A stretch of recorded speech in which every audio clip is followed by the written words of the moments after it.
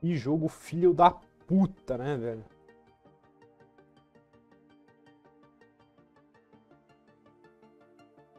Vixe, não é possível, cara.